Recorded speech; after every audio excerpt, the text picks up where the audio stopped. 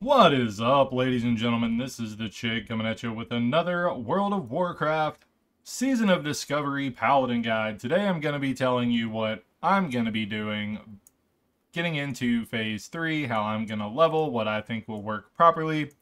Right now, I am spec all the way Shockadin. I am all the way down to Holy Shock. I am level 40. I am killing a few minutes until the season drops and I wanted to take a minute to explain to you guys what I think is going to work, why it's going to work, how it's going to work, and how to have fun with it. So, without further ado, let's hop right into it. So, as you can see, my gear is an amalgamation of things from the auction house, things from SM while I was leveling, and things from BFD. I have not stepped foot into Gnomeregan at all. I re-rolled on this server a couple days ago because one of my buddies was talking about it and that's what we're doing. So I have a lot of really bad gear.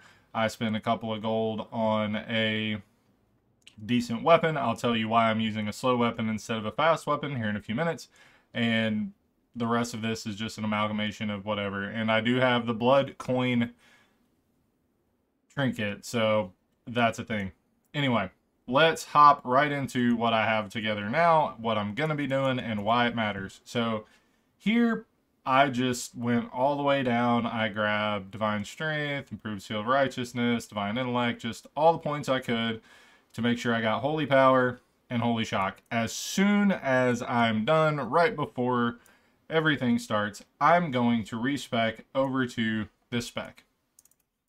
So, with this spec, you put 5 points into Divine Strength, 5 points into Spiritual Focus, the reason I'm going into spiritual focus is because we are going to be using divine storm to heal, but if we need to heal while we're out grinding mobs, we can switch that over and we will be able to switch from our Devo aura over to concentration aura and we will not get interrupted. So that's a big plus.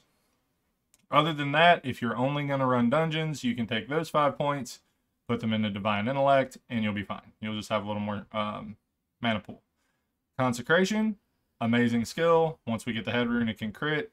This is our bread and butter, and the whole reason this whole strategy works. Consecration is just the best. All right, so you've got your 11 points in Holy. Then we're going to run over to the Protection Tree. If you're already 40, this is what it looks like. If you're not 40, what I would recommend doing first, improve Devotion Aura three points into precision, two points into Redoubt. Well, you can go ahead and max Redoubt because you're going to put three points into shield specialization, and then you're going to put four points into toughness. So this is your level 40 spot. All right. As soon as you hit 41, this build is going to be way better because you are no longer going to be using Blessing of Might, which is why I didn't get Blessing of Kings because I'll go over that in a minute. But you are going to be using Blessing of Sanctuary. It places a blessing on the friendly target, reducing damage from all sources by up to 10. In addition, when the target blocks a melee attack, the attacker takes damage.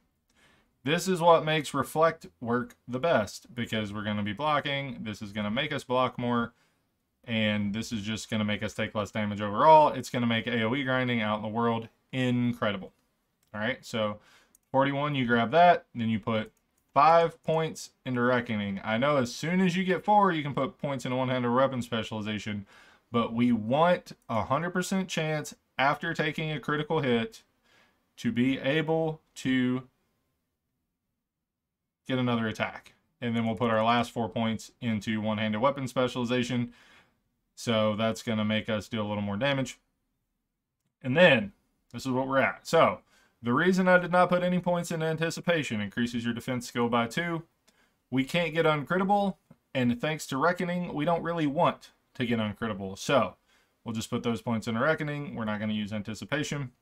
This is what we're looking like. So for runes, chest, divine storm, instant weapon attack, this is mostly for the heal. So when you're playing this, you're going to be using your Seal of Light to heal you up on your autos and on your Reckoning swings.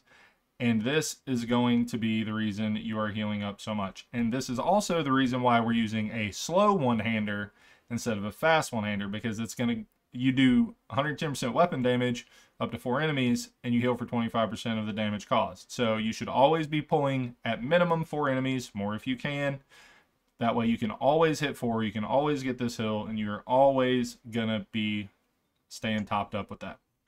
On your head, what you're going to do as soon as you can, 100% of the time, I would say go to Wrath. Just amazing. Um, also, improved Sanctuary. I think it's going to be good because it's going to make you take damage, less damage because it's going to increase the damage prevented by it and increase the damage of your Blessing and Sanctuary by 30% of your shield block value. So the more strength you have, the more your blocks are going to deal damage on your Blessing Sanctuary. It's going to make it scale with your stats, which is going to be amazing. But I think based on what we have now, Consecration being able to crit is going to be the bee's knees. All right, so Wrath in the head when you can get it. The wrist, we don't really have a lot of good things here for AoE grinding, um, but I think Hammer of the Righteous is going to be the best. So it's going to be dealing damage to three targets, four times our main hand damage. That's just going to be, it's another instant attack to proc your seal. It's another instant attack to heal you up with your seal. It's another instant attack to deal more damage. If you wait till the mob's low, bang, there you go. So that's what I think we're going to have there. Um, so Crusader Strike on your gloves is going to help keep your mana up. If you're in a group, this is what you change. You make this Hand of Reckoning, and there you go. Waist Sheath of Light. This is a non-negotiable. You need that extra spell power because it gives you spell power the amount of your attack power. That's why we're using this to begin with. That's why we're using Blessing of Might. You have to have Sheath of Light. After you get actual factual Shockadin gear, you can switch away from that. But for now, Sheath of Light.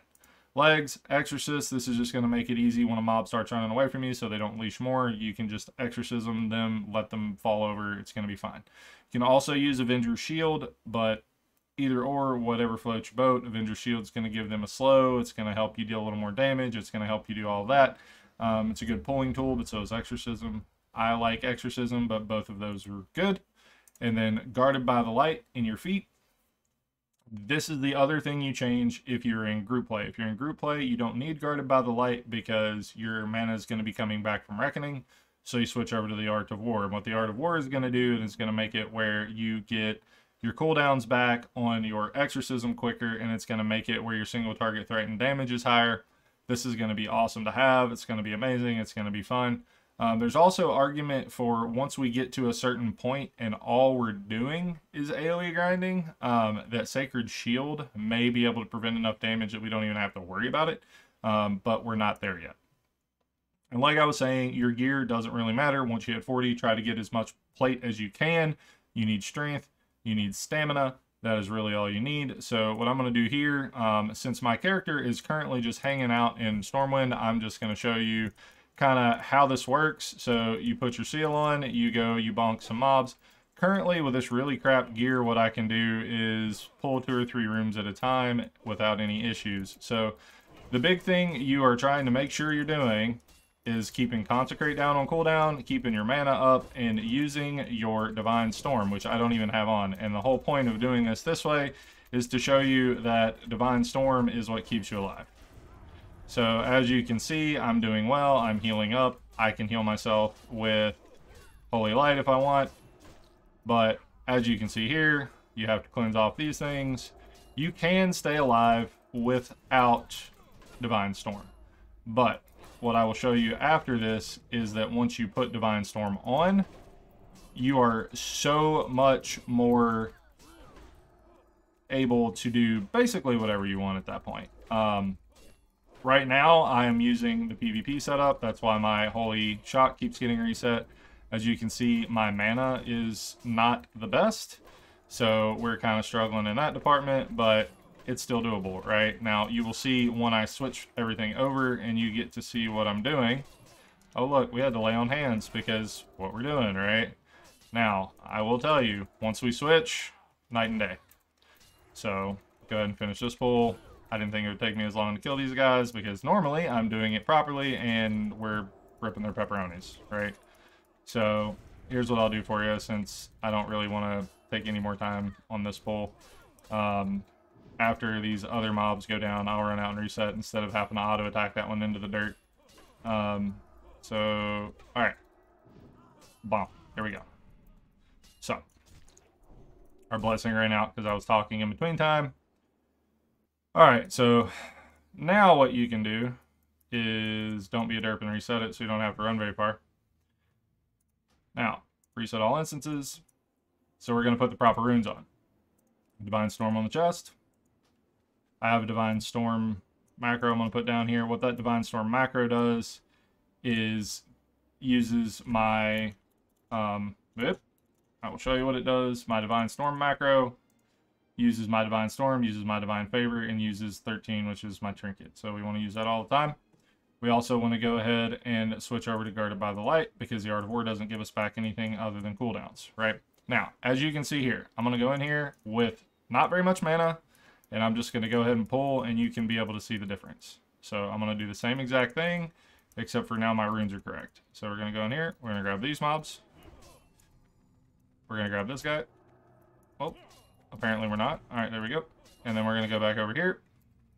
We're going to grab all these guys. And you'll notice I don't ever even use judgment, right? So obviously if you can cleanse something off, you cleanse it off. But okay, I'm at 70%, I'm at 93. Cleanse it off, right? And with this build, you can use Holy Shock to heal yourself up if you want. Um, remember, its heal is reduced by 50% because of our Guarded by the Light. But you keep your Seal of Light up, you keep up your cooldowns, you keep Crusader Strike on cooldown, and you Divine Storm on cooldown. And as you can see, our health is barely moving, right? So make sure you're cleansing off anything that you can cleanse as usual. All right, so bang, we just got 14% of our HP as a heal. Gonna go ahead and roll that off. And you can see they're dying so much faster. We're just rolling through. There you go. Make sure if your target that you're currently hitting around the way, you tab so you're hitting something else. Your seal falls off, pull it back up, and this is literally going to be the easiest, most chill, most fun way to level. Um, this is just going to be easy out in the world open world grinding or grinding a dungeon that is uh, has, you know, high level green or low level yellow mobs to your level requirement. And as you can see, we didn't have any mana problems. Our mana came back as we needed it. I made that pull without having full mana my HP was never in trouble. I never had to use any cooldowns, and we pulled a ton of mobs. Um, you can do this out in the world. So the only thing you have to learn, the learning curve is how many mobs can I pull and not get ripping pepperoni? That's literally it. Get a slow, big hitting one-hander to make your Divine Storm heal harder. Use Seal of Light. Set your spec up properly. Make sure you have the right runes. You are going to breeze your way either in the open world AoE grinding or grinding dungeons with your buddies all the way to 50. Not going to be a problem. See you guys out there in a couple hours.